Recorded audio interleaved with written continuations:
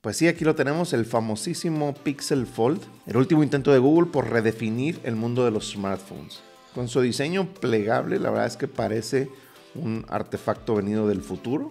Pero ¿es realmente el avance tecnológico que todos estábamos esperando o es un gadget más con un precio súper inflado? En este review les quiero platicar mi experiencia de alrededor de un mes utilizando en el día a día este celular. Quiero platicarles lo que me gustó, lo que no me gustó y por qué a partir del día de hoy va a dejar de ser mi celular. Vamos a empezar por decir que tener este celular en la mano, la verdad es que es una experiencia hermosa. En realidad es pesado, se siente súper premium. Es un celular que la verdad es que te sientes como que algo hiciste bien en la vida. Por otro lado, el multitasking se hace una realidad. La verdad es que sí estuve constantemente utilizando la división de la pantalla y poniendo una aplicación de un lado y del otro otra aplicación, sobre todo a la hora de ver, por ejemplo, videos de YouTube mientras puedo checar correo. O también puedes tener la aplicación de Google Fotos y hacer drag and drop, es decir, arrastrar una imagen a un correo o a un eh, mensaje de WhatsApp para poderlo enviar lo cual es algo bastante útil porque es algo que no puedes hacer simplemente con otros celulares y a mí me gustó muchísimo. El hecho de que puedas enseñar fotos a tu mamá o a quien quieras en una resolución enorme como si estuvieras usando una tablet, la verdad es que también es una experiencia increíble. Otra experiencia muy buena es cuando utilizas eh, Google Maps porque puedes ver obviamente en un mapa mucho más grande que en cualquier celular todo el terreno, ves los detalles, ves cosas que no veías tal vez o que tenías que hacer mucho zoom. Entonces también disfruté mucho utilizándolo para Google Maps. Y otra aplicación que me di cuenta que empecé a usar más es Udemy, o sea, es decir, si quieres estudiar un curso, pues este es un buen lugar porque en primera pues tiene la pantalla ideal para eso y aparte siempre lo traes, ¿no? Entonces, normalmente en tu día a día no cargas una tablet, ¿no? Ni cargas tu Kindle. Entonces, el hecho de poder tener un lector de Kindle dentro de esta pantalla y también poder correr Udemy en una pantalla que hace muy consumible el curso eh, me ha servido muchísimo para motivarme a leer más y también para poder tomar más cursos a donde quiera que voy, en lo que espero, en una fila, en el banco, etc. Entonces eso me pareció increíble. Tener Android puro, la versión sin ser modificada por la capa de Samsung o la capa de Motorola o la capa de cualquier otro proveedor de celulares, la verdad es que es algo, es una experiencia que se disfruta bastante. Y bueno, el performance de tener Android puro es para los que nunca han tenido un Pixel, es similar a lo que hace iPhone, ¿no? iPhone hace su propio software, hacen su hardware y entonces pues lo sincronizan mucho mejor, trabaja de una manera mucho más fluida. Recordemos que si es la misma persona o la misma compañía la que hace el hardware y el software, pues va a correr mucho mejor y eso es lo que sucede con estos dispositivos de Pixel, ¿no? Las mismas personas de Google que hacen el sistema operativo de Android, pues también son los que desarrollaron el celular. Había algunas quejas sobre la batería de este celular, la verdad es que a mí sí me dio para terminar todos mis días, incluso consumiendo algo de YouTube, no soy gamer, la verdad es que no juego jueguitos en el celular, pero sí lo consumo muchísimo, sí lo utilizo muchísimo y sí dependía también bastante de qué tanto abriera el celular durante el día o qué tanto utilizara la pantalla exterior, lo que me duraba la pila. Sin embargo, en todas las ocasiones terminé el día tal vez con un 10 o 15%, estoy hablando de que a las 9, 10 de la noche ya tenía este 10%, lo cual no me parece nada mal. En mi experiencia, tiene una mejor cámara este celular que el Samsung Fold 4, que también lo tuve, de ahí vengo de hecho. Y no me gustó mucho la cámara, la fotografía que tiene. Me parece que el hecho de que lo difuminen debajo de la pantalla afecta notablemente la calidad de las cámaras. Y este celular justamente sacrifica los marcos amplios por tener la cámara fuera de las pantallas, lo cual me parece una buena decisión.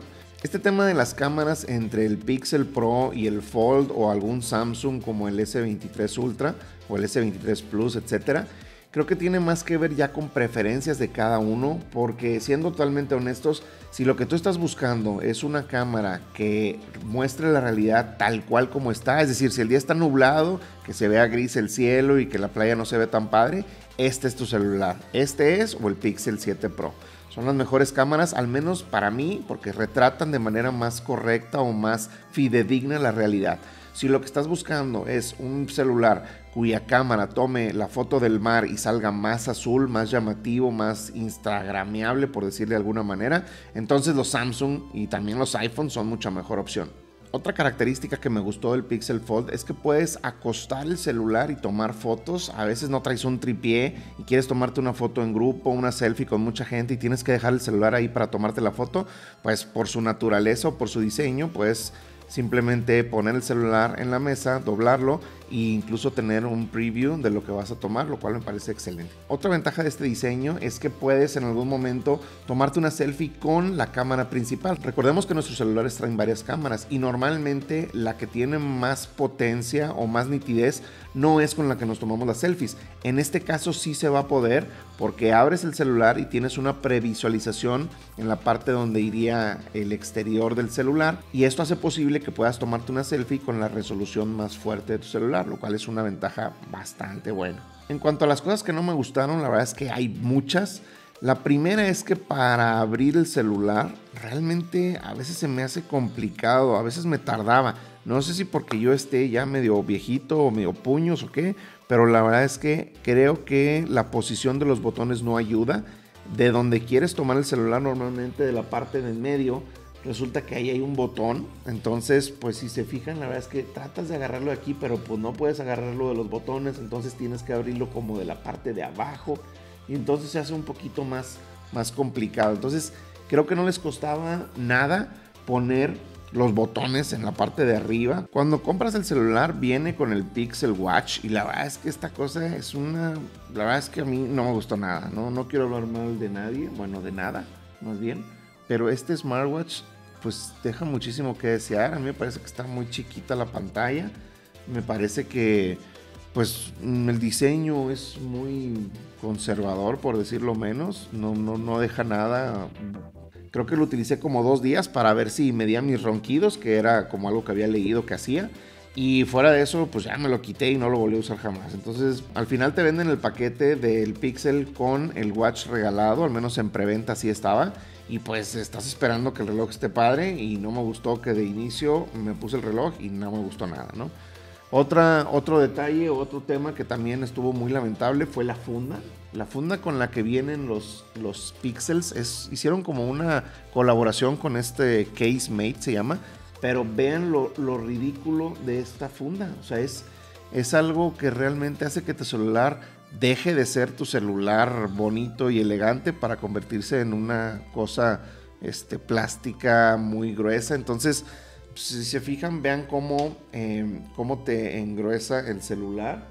Entonces, pues obviamente esto, esto no es una buena experiencia. A mí no me gustó en lo más mínimo. A mí se me hizo que el celular te lo dejaba este, muy, muy grande. Incluso como que se oye como que truena a la hora de abrirlo. Si se fijan. Oye.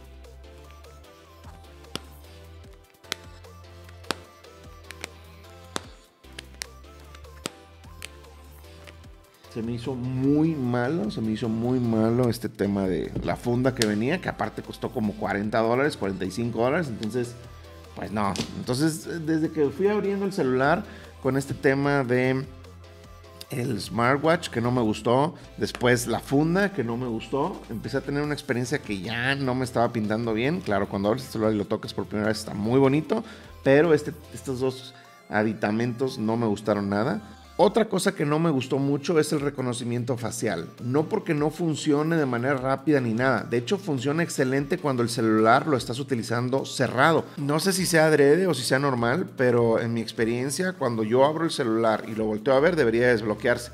Así como se desbloquea cuando lo veo si está cerrado, también debería ser lo mismito cuando está abierto. Entonces, eso fue algo que no me gustó nada. Y pues bueno, eh, también estuve batallando con esto, ¿no? Otro tema fue la pantalla de fuera. La verdad es que es algo un poco extraño, pero esta pantalla está muy buena. Y entonces vas a decir, Héctor, pero pues entonces, ¿cuál es el problema? El problema es que yo vendí mi Fold 4 porque no me gustaba lo delgado de la pantalla de afuera. Casi nunca la utilizaba. De hecho, no la usaba nunca por el mismo form factor, ¿no? O sea, por el mismo ratio, no sé cómo decirle, eh, por la misma forma que tenía tan delgada. Y a la hora que compré este Pixel, la pantalla de afuera resulta que es muy buena. Entonces, lo que me pasó como usuario, digo, puede ser una tontería, y tal vez, pero tal vez a alguien le pasó también, es que de repente me encuentro utilizando la pantalla de afuera, o sea, el celular así, tal cual, el 80% del tiempo. Y entonces cuando me doy cuenta, como que me da coraje porque digo, oye, pagué una lana por ese celular para estar utilizándolo abierto, pero resulta que tienes una muy buena experiencia con el celular cerrado y empiezas a utilizar la pantalla de fuera. El motivante para mí generalmente para abrir la pantalla y usarlo por dentro de manera como de tablet fue siempre YouTube o el Kindle o utilizar eh, o ver Udemy. Cuando abres el celular y ves YouTube, tienes esos marcos grandotes porque el aspecto en el que hacen los videos es mucho más horizontal, más como cine. Entonces te quedan dos bloques arriba y abajo, negros. Entonces no puedes aprovechar toda la pantalla. Y si le haces zoom, pues obviamente te pierdes de gran parte del de, eh, contenido del video. Entonces eso no me gustó. No sé, no tengo una solución a cómo lo arreglaría. O sea, no estoy diciendo que la pantalla de afuera tenga que ser mala como la del Fold sino más bien que todo lo de adentro tendría que ser mucho mejor para que te motivara a usar el celular por dentro abierto el 90% de las ocasiones. ¿A qué me refiero? A que hay aplicaciones que se ven mejor con la pantalla cerrada que abierta. ¿Por qué? Pues porque los diseñadores o los creadores de aplicaciones pues todavía no se adaptan o adaptan sus aplicaciones a un formato eh, grande de pantalla como para tablet. Entonces, pues muchas de las aplicaciones como TikTok, Instagram, etcétera, se veían muy chiquitas ahí adentro de la pantalla abierta, lo cual hace que pues no quieras utilizarlas de esa manera. Otra característica de este celular por el que lo vendo es porque pesa mucho. Héctor, pero ¿qué tiene que pese? Pues te ves ahí, no te ves ahí ligerito como para que no puedas cargarlo. Estoy de acuerdo. El problema es que después de 15 minutos o 20 minutos de estar viendo un video de YouTube, sí hace la diferencia un celular que pesa como este contra uno que no pesa. Es como una de esas cosas que no te das cuenta que son importantes hasta que lo vives. Si vives en una ciudad como Guadalajara, por ejemplo, pues nunca te das cuenta que el clima es algo hermoso aquí. Cuando te vas a vivir a otros lugares en donde el invierno dura 4 o 5 meses y estás a menos 15 grados, obviamente dices, ah, ¿sabes qué? El clima sí es un factor de donde quiero vivir pero pues si toda tu vida has tenido celulares que no pesan o que pesan lo normal, pues dices, no me importa mucho el peso, para mí es algo X. Sí, pero cuando tienes un celular como este que pesa mucho y te cansas realmente de los dedos de estar soportándolo al momento de estar consumiendo contenido, ahí hace una diferencia. Otra de las cosas que no me gustó es que el, no sé cómo llamarle, pero al doblez de la parte del medio es muy notorio, es muy o sea, tú pasas el, dedo y se siente bastante el doblez, lo cual a mí no me parece que debe de ser así.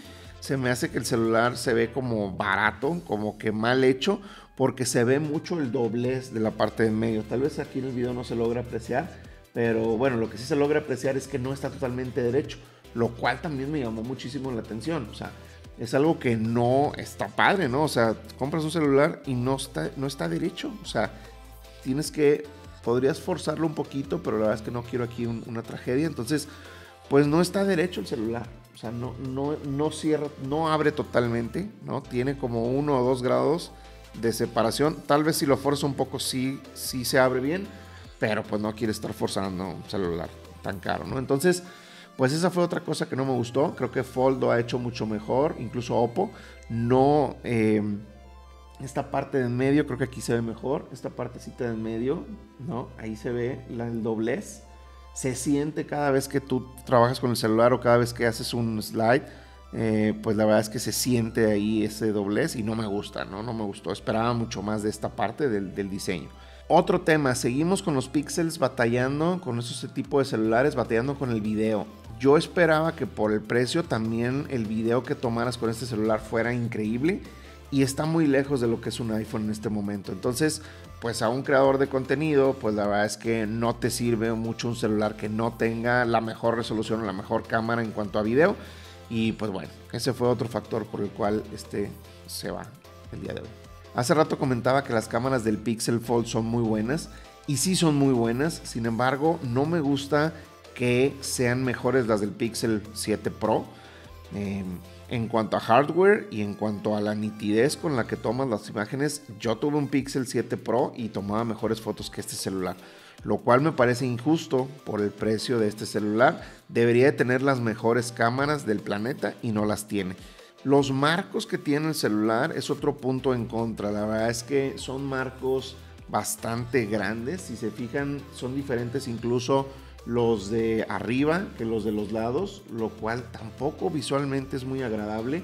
Creo que estos marcos, entiendo el por qué lo hicieron, entiendo que tenga que ver con que pusieron la cámara aquí en la esquina, pero creo que pudieron haber encontrado alguna otra solución o al menos hacerlos uniformes. Creo que eso es lo que más me, me, me mueve o no me gusta. Claro, después de un tiempo de estarlo usando, pues ya te acostumbras, pero de arranque, la experiencia de inicial de abrir el celular y ver ese marco tan enorme, te sientes en 1990. Otro tema en donde me quedó debiendo este Pixel Fold es en el tema de la customización. ¿A qué me refiero? Al abrir el celular, no puedes modificar algo de adentro del celular abierto que no se modifica afuera. Es como un clon la pantalla, es como un espejo. Entonces, pues estamos hablando de Android aquí, ¿no? Estamos hablando de que esta es una de las ventajas o de las mayores diferenciadores contra un iPhone, que tú puedes modificar totalmente el contenido visual de tu página de entrada, por así decirlo. Entonces, pues el hecho de que lo que tienes afuera lo tienes adentro a fuerzas, no me gusta, no me gusta porque es una pantalla muy diferente la de afuera que la de adentro y tener lo mismo significa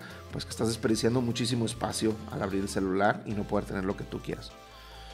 Una de las ventajas que comenté hace un momento era que podías tomar fotos con la parte de afuera, o sea, con las cámaras más fuertes que tiene el celular, estas de acá, porque abres el celular y puedes tomarte una selfie y usar esta pantalla como, como el previsualizador, lo cual te da la oportunidad de tomar fotos o video con la cámara principal a mayor resolución.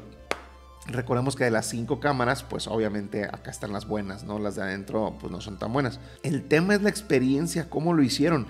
Es bien complicado. Ya me ha pasado varias veces que estoy ahí queriendo presumir una selfie con algunos amigos y no es tan sencillo hacer ese cambio o ese switch para que el contenido se previsualice aquí antes de tomar la foto. Entonces ya van varias veces que hice el ridículo ahí tratando de de sacar la cámara y, no, pues ahorita la voy a tomar, no se preocupen y, pues a la hora que, que, quieres hacer el cambio, supuestamente a la hora que que instalar así, le dices a la cámara, presionas un botón aquí y le dices quiero usar, cambiar la pantalla ahora. Y entonces, pues ya te tomas la foto así. Ahora, en lo que sucede, o sea, ahora que es eso, a veces no es tan sencillo. A veces tocas el teléfono aquí y aquí tienes la televisión, pero a veces tocas el teléfono por acá y se cierra. Ahora quieres sacar la foto, pues no, no, no sé, no sé cómo explicarlo, pero la verdad es que no ha sido la mejor experiencia hacer esto no me gustó, no me gustó de qué manera manejan ese tema de la foto con la cámara principal, porque tienes que picarle un botón, luego como están los botones ordenados se te bloquea el teléfono a veces y en otras ocasiones tomas la foto sin querer y no me gustó. Bueno, pues para este momento espero que ya hayas tomado como tu decisión de compra, si te sirve, si te gusta o no el celular. Yo en realidad esperaba mucho más. Es un celular muy bonito, muy elegante. La pantalla sirve para ciertas cosas de manera excelente, pero todavía no estamos ahí. Creo que es una buena versión de Pixel Fold inicial de Google, pero creo que una segunda versión va a ser mucho mejor o tal vez una tercera iteración va a ser con la que tal vez querramos quedarnos, ¿no? Son 1800 dólares que la verdad es que ya están a la altura de uno de los iPhones, ¿no? El iPhone 14 Pro Max me parece que ya podrías comprarlo por ese precio, tal vez un poquito menos, un poquito más. Pero pues sí vale la pena preguntarse si quieres este tipo de experiencia. Recordemos que estás comprando cinco cámaras, ¿no? Con este celular y estás comprando tres pantallas, a diferencia de comprar un iPhone, en donde estás comprando creo que tres cámaras y una sola pantalla. Entonces, en realidad el precio no está tan mal para lo que estás comprando yo creo que lo principal, como en cualquier decisión de compra de cualquier gadget o celular, es que pienses para qué vas a utilizar el celular y en base a eso puedes hacer tu mejor elección. Según lo que veo en mis números aquí de YouTube, al parecer más del 80% de las personas que ven estos videos no están suscritos al canal. Te pido por favor que te suscribas aquí debajo donde dice suscribirte, pongas la campanita también para que te llegue una notificación cada que suba videos. Te agradezco mucho si le das un like, apoyas mucho mi proyecto. Gracias y nos vemos en el próximo video.